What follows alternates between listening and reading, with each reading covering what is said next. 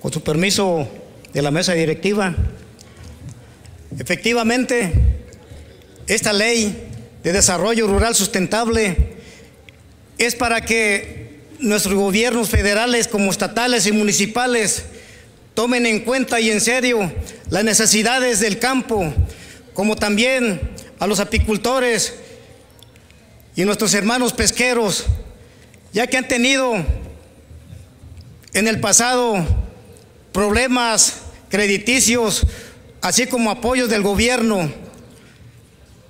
Con esta ley hacemos que se respeten las peticiones, que en tiempo y forma lleguen los apoyos al campo y no lleguen tardíos.